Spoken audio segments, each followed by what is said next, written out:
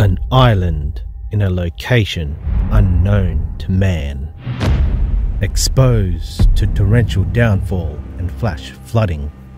Home to some of the most dangerous predators yet to be discovered. Apex predators. Nightmares of the deep.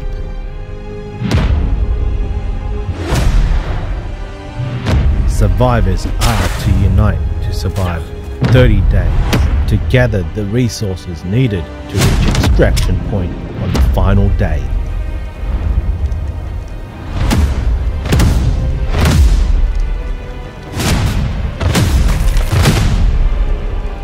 To survive the harrowing 30 days, survivors must hone their skills using only primitive technology.